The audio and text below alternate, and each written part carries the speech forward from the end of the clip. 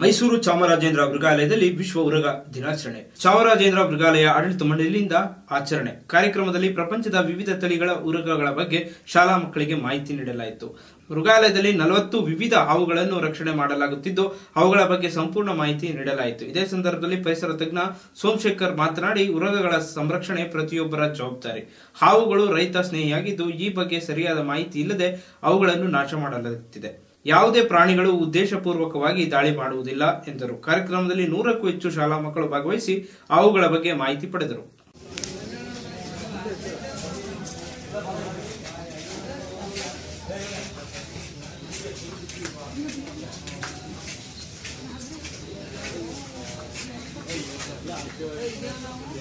ನಂಜನಗೂಡಿನಲ್ಲಿ ಹಡಪದ ಅಪ್ಪಣ್ಣನವರ ಜಯಂತಿ. Nanjangud doctor B R Ambedkar ಭವನದಲ್ಲಿ ಇಂದು ರಾಷ್ಟ್ರೀಯ ಹಬ್ಬಗಳ ಆಚರಣೆ ಸಮಿತಿ ನಂಜನಗೂಡು ತಾಲೂಕು ವತಿಯಿಂದ ಹಡಪದ ಅಪ್ಪಣ್ಣನವರ ಎಂಟುನೂರ ಎಂಬತ್ತೈದನೇ ಜಯಂತಿಯನ್ನು ಆಚರಿಸಲಾಯಿತು. ಕಾರ್ಯಕ್ರಮದಲ್ಲಿ ಅಧ್ಯಾಪಕ ಮೂನಾ ರಮೇಶ್ ಮಾತನಾಡಿ, ಸಮಾರಂಭದಲ್ಲಿರುವ ವ್ಯಕ್ತಿಗಳು ಮತ್ತು ವ್ಯಕ್ತಿಗಳ ನಡುವೆ ಪರಸ್ಪರ ಗೌರವವನ್ನು ಗಳಿಸಲು ಮೊದಲು ಮುಂದಾಗಬೇಕು ಎಂದರು.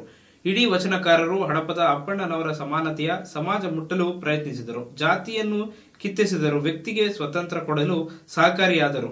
ಈ ಸಂದರ್ಭದಲ್ಲಿ ನಂಜನಗೂಡು ತಾಲೂಕು ತಹಶೀಲ್ದಾರ್ ಕೆಎಂ ಮಹೇಶ್ ಕುಮಾರ್ ತಾಲೂಕು ಪಂಚಾಯಿತಿ ಕಾರ್ಯನಿರ್ವಾ, ನಿರ್ವಹಣಾಧಿಕಾರಿ ಶ್ರೀಕಂಠ ರಾಜೇ ಅರಸ್ ತಾಲೂಕು ಪಂಚಾಯತ್ ಸ್ಥಾಯಿ ಸಮಿತಿ ಅಧ್ಯಕ್ಷ ಕೆ ಶಿವಣ್ಣ, ನಾಗರಾಜು, ಮೀನಾ ನಾಗರಾಜು ಸೇರಿದಂತೆ ಮತ್ತಿತರರು ಭಾಗಿಯಾಗಿದ್ದರು.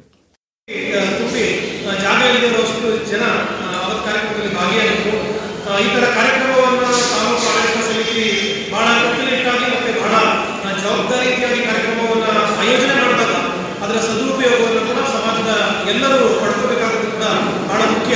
ಇಲ್ಲಾಂದ್ರೆ ಕಾರ್ಯಕ್ರಮಗಳು ಕೇವಲ ನೆಪ ಮಾತ್ರಕ್ಕೆ ಒಂದಿಷ್ಟು ಕಾರ್ಯಕ್ರಮಗಳಾಗಿ ವ್ಯರ್ಥ ಆಗುತ್ತೆ ಅನ್ನೋದು ನನ್ನ ನೇರ ಅಭಿಪ್ರಾಯ. ಬಹುಶಃ ವಿಷಯಕ್ಕೆ ನೇರವಾಗಿ ಬರೋದಾದ್ರೆ, ಕರ್ನಾಟಕದ ಇತಿಹಾಸವನ್ನು ಗಮನಿಸಿದ್ರೆ ಹನ್ನೆರಡನೇ ಶತಮಾನ ಅನ್ನೋದು ನಾವೆಲ್ಲರೂ ಚಿನ್ನದ ಅಕ್ಷರಗಳನ್ನು ಬರೆದಿಟ್ಟುಕೊಳ್ಬೇಕಾದಂತಹ ಕಾಲಘಟ್ಟ ಬಹುಶಃ ನಾಟ್ ಓನ್ಲಿ ಕರ್ನಾಟಕದ ಹಿಸ್ಟ್ರಿ, ಅದನ್ನು ಬಿಟ್ಟು ಭಾರತದ ಇತಿಹಾಸವನ್ನು ನೋಡಿದ್ರು ಕೂಡ, ಅದನ್ನು ದಾಟಿ ಪ್ರಪಂಚದ ಇತಿಹಾಸದಲ್ಲಿ ಕೂಡ ಒಂದು ಚೌಕಟ್ಟಾಕಿ ಬದುಕೊಳ್ಬೇಕಾದ ಕಾಲಘಟ್ಟ ಅಂತ ಹೇಳಿದ್ರೆ, ಬಹುಶಃ ಅದು ಹನ್ನೆರಡನೇ ಶತಮಾನ ಬಸವಣ್ಣವರ ಕಾಲಘಟ್ಟ. ಆ ಕಾಲಘಟ್ಟದಲ್ಲಿ ನಡೆದಂತಹ ಅಪರೂಪವಾದ ಚಳವಳಿಗಳು ಬಹಳ ಅಪರೂಪದಲ್ಲಿ ಅಪರೂಪ ಬಹುಶಃ ಭಾರತದಲ್ಲ ಇಡೀ ಭೂಮಿ ಮೇಲೆ ಕೂಡ ಆ, ಹೆಚ್ಚು ಕಡಿಮೆ ಎಂಟುನೂರ ಐವತ್ತು ಒಂಬೈನೂರು ವರ್ಷಗಳ ಹಿಂದೆ ಆ ಮಟ್ಟಿಗಿನ ಕ್ರಾಂತಿ ಮತ್ತು ಚಳವಳಿ ನಡೆದಿದ್ದು ಬಹಳ ಅಪರೂಪಗಳಲ್ಲಿ ಅಪರೂಪ. ಅಪರೂಪ ಅನ್ನೋದಕ್ಕಿಂತ ಇಲ್ಲವೇ ಇಲ್ಲ ಅಂತ ಹೇಳಿದ್ರೆ ಬಹುಶಃ ಒಪ್ಪಿಗೆ ಆಗುತ್ತೆ ಅನ್ನೋದು.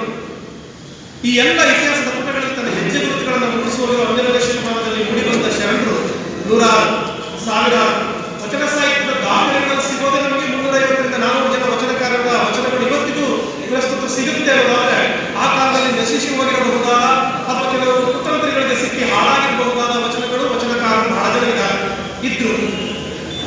ಪಂಚಾಯಿತಿಗೆ ಇನ್ನಷ್ಟು ಹಣ ಬಿಡುಗಡೆ ಮಾಡಲು ಮನವಿ.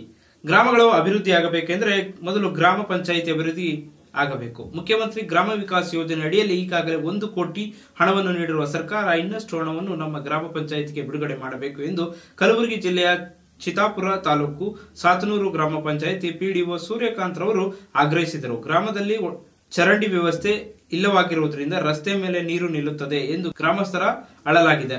ಇನ್ನಷ್ಟು ಹಣ ಬಿಡುಗಡೆ ಮಾಡಿದರೆ ಗ್ರಾಮ ಪಂಚಾಯಿತಿ ಅಭಿವೃದ್ಧಿ ಕೆಲಸಗಳು ತ್ವರಿತಗತಿಯಲ್ಲಿ ನಡೆಯುತ್ತವೆ ಎನ್ನುತ್ತಾರೆ ಇಲ್ಲಿನ ಜನ. ಹದಿನೆಂಟನೇ ಸಾಲಿನಲ್ಲಿ ಮುಖ್ಯಮಂತ್ರಿ ಗ್ರಾಮ ವಿಕ- ವಿಕಾಸ ಯೋಜನೆ ಅಡಿಯಲ್ಲಿ ಸಿಸಿ ರಸ್ತೆ ತೆಗೆದುಕೊಳ್ಳಲಾಗಿದೆ. ಘನತಾಜ ತ್ಯಾಗ ವಸ್ತು ಸಲುವಾಗಿ ಸ್ಥಳ ಪರಿಶೀಲನೆ ಮಾಡಿ ಸ್ಥಳ ನಿಗದಿಪಡಿಸಲಾಗಿದೆ ಈ ಗ್ರಾಮದಲ್ಲಿ ಶೌಚಾಲಯ ಬಯಲು ಗ್ರಾಮ ಮಾಡಲಾಗಿದೆ. ಈ ವರ್ಷ ಎರಡು ಸಾವಿರ ಹದಿನೆಂಟು ಹತ್ತೊಂಬತ್ತನೇ ಸಾಲಿನಲ್ಲಿ ಒಂದು ನೂರ ಇಪ್ಪತ್ತ್ನಾಲ್ಕು ಶೌಚಾಲಯ ನಿರ್ಮಾಣ ಮಾಡಲಾಗಿದೆ. ಮತ್ತು ಚರಂಡಿ ಕೂಡ ಮಾಡಲಾಗಿದೆ. ಮತ್ತು ಸಿ ಸಿ ರಸ್ತೆ ಕೂಡ ಬೇಕು ಇನ್ನಷ್ಟು. ಹೆಚ್ಚಿನ ಅನುದಾನ ಕೊಟ್ಟರು ಈ ಗ್ರಾಮ ಪಂಚ ಇದು ಗ್ರಾಮವನ್ನು ಮುಕ್ತ ಗ್ರಾಮವಾಗಿ ಮಾಡಲು ಅನುಕೂಲ ಆಗ್ತದೆ